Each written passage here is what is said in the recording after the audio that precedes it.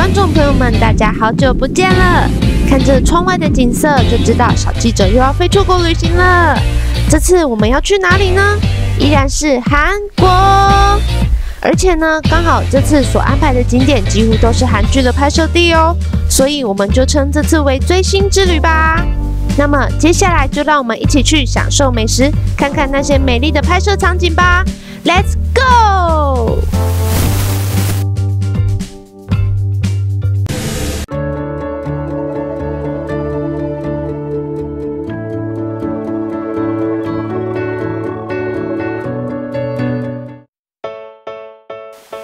一站来到圣水洞，就先带大家来品尝美食啦。看到刚刚那一锅满满的排骨，有没有觉得口水直流啊？哎，我们现在来的是传闻中的排骨汤，然后这个排骨红彤彤的，蛮辣的，可是很软嫩，很好吃哦。看看这煮的很软嫩的排骨，来到圣水洞怎么可以不尝试一下呢？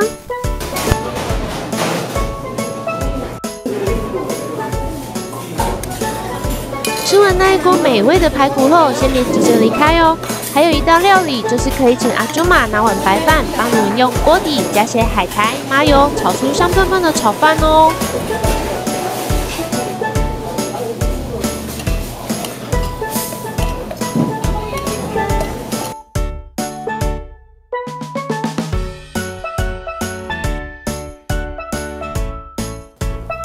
那么吃饱喝足后，我们就去逛逛圣水洞吧。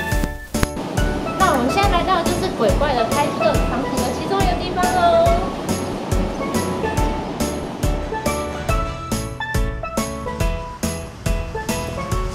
圣水洞咖啡街有很多很有特色的咖啡店以及壁画，想伪装成文青的话，不妨来这里找间咖啡店坐坐，在附近拍拍照哦。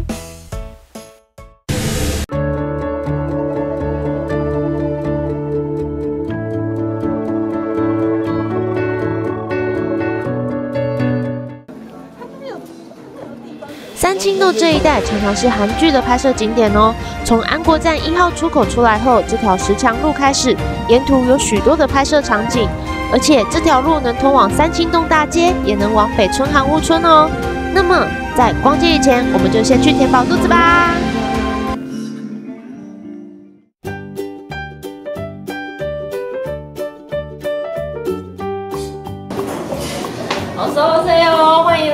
三清洞的吃修前走哦，有名的年糕锅，布洛克都会推荐的哦。那基本上就是一人一锅，然后两个人以上开锅，然后可以两种口味混在一起，特别好吃哦。这一锅呢是两份的海鲜锅跟两份的起司锅综合在一起的哦，里面有满满的海鲜跟起司，还有乌龙面，吃完就可以继续逛街去喽。那这边呢就是又吴海英跟鬼怪拍摄的场景哦，还有很多韩剧又来这边拍呢。看到这两棵樱花树，有没有觉得很眼熟啊？在吃饱了以后，继续沿着刚刚的石墙路走，就可以来到这间很常出现在韩剧中的咖啡魔方哦。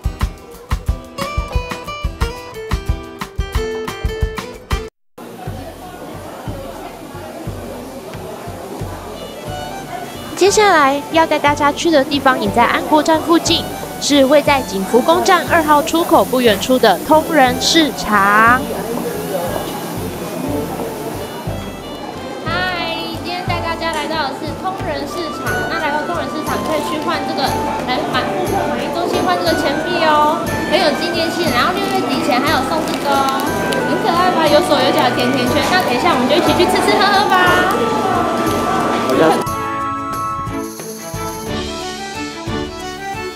来到通人市场，找到位于市场中央的顾客满意中心，上二楼就可以用五千元换到十个铜钱，然后他们还会发给你一个饭盒哦。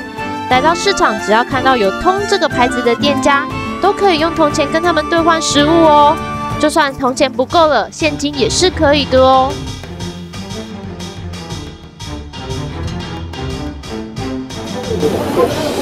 用钱就可以买了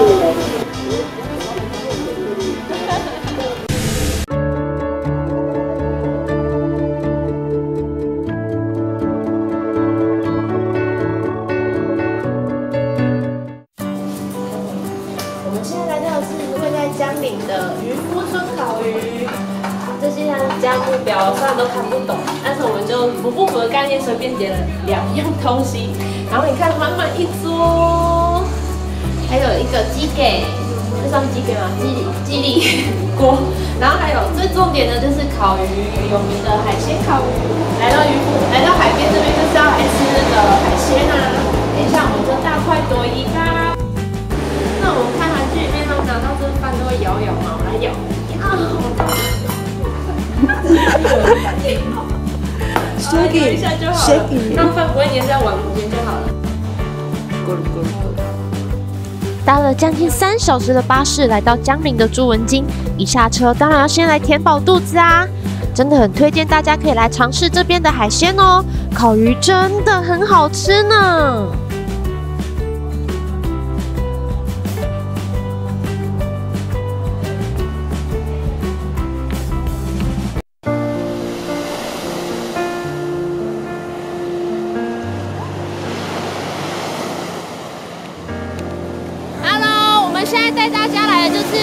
祝文京的拍摄鬼怪的防坡堤。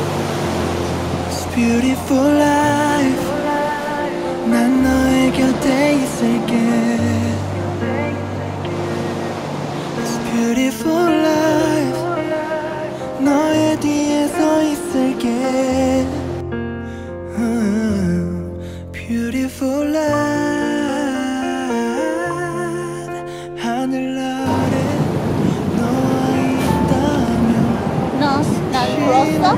아닌데 아저씨 누구세요? 안녕 친구야 저는 더해비입니다 Beautiful day 너의 기억에서 내가 살 텐데 Beautiful life 那么召唤完了鬼怪之后，我们要往下一站出发喽。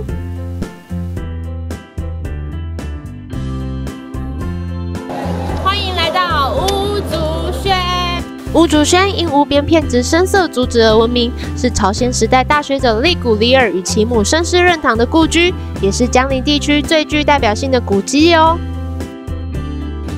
那巫竹轩这个地方呢，据说是申师任堂的拍摄地，所以这边有李英爱跟宋承宪的签名还有手印哦。申师任堂与其子利古里尔在韩国文学上都有重大的贡献，因此也分别成为了韩币五万元与五千元上的代表人物。所以来到江陵，不妨来这里走走，参观这些文物古迹吧。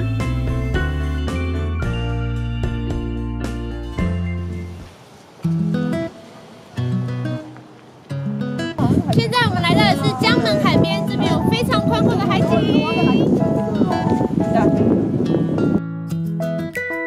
来到江门海边，以美丽的大海为背景，情侣们来这里散散步，浪漫一下；朋友们来这里拍拍照，gay 拜一下，一起制造美好的回忆吧。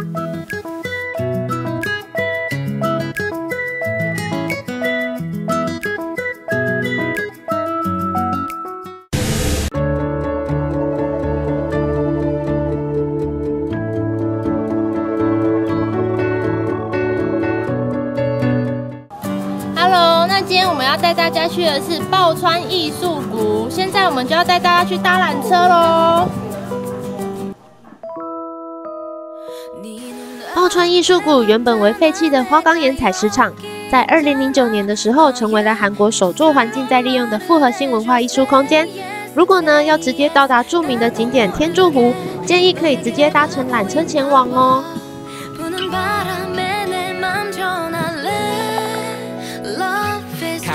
간지럽게만 느껴지던 눈빛이 이제는 익숙하단 듯이 웃음 짓지 그쪽으로 那我们现在来到的就是抱川艺术谷很有名的天柱湖，这边呢有拍过蓝色海洋的传说，还有步步惊心地都在这边拍的哦，你们看。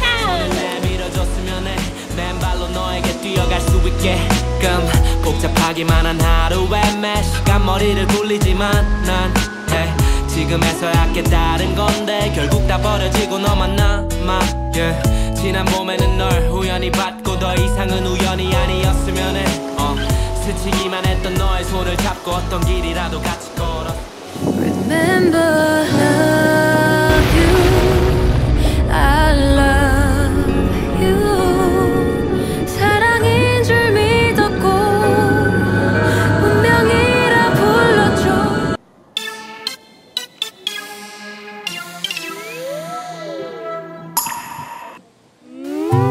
小记者那不像样的穿越剧就让它过去吧，我们要继续往前走喽。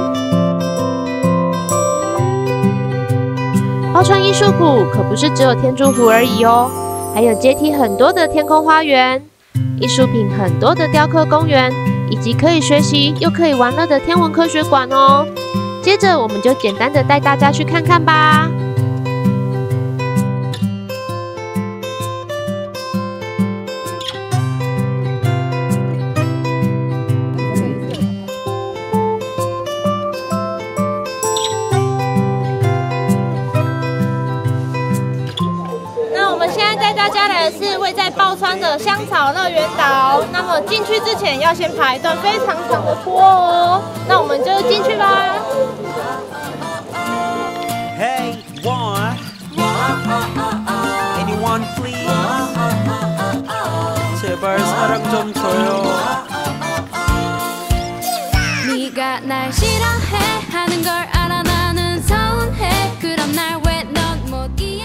香草岛乐园是座以生活里的香草为主题的观光农场，也是度假村，里面充满了欧式建筑。Running Man 和许多韩剧都有来这边取景过哦。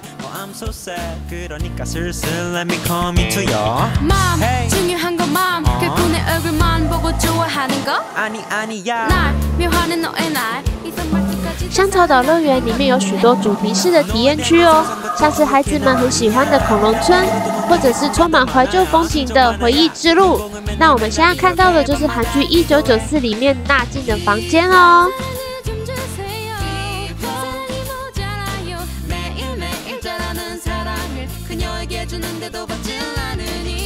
除此之外既然是观光农场当然不能错过这里的植物园香草博物馆喽你看一大片的薰衣草田是不是非常的美丽呀而且这边还有迷你动物园可以让孩子们与动物近距离的接触真的很适合亲子一起来这边游玩哦。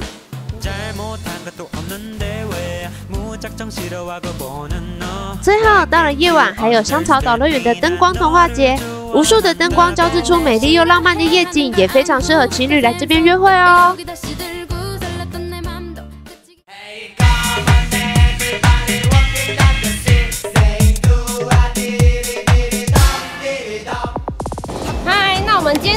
就是要带大家来到桥村炸鸡神话店。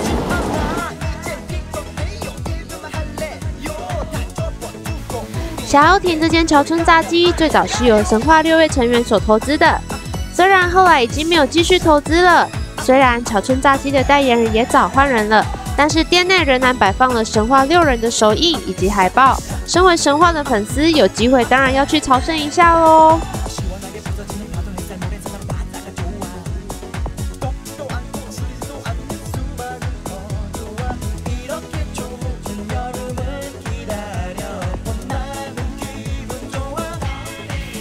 小记者这次来韩国最主要的目的就是要来看演唱会。现场除了有粉丝的舞蹈应援，还有韩国很有特色的米花篮应援哦。米花篮应援最早起源于2007年8月神话成员申惠星的个人演唱会。一般的花篮在活动结束后就没有价值了，而米花篮在活动之后就捐赠给有需要的人，既可以传达对偶像的心意，也可以做善事，真是一举二得呢。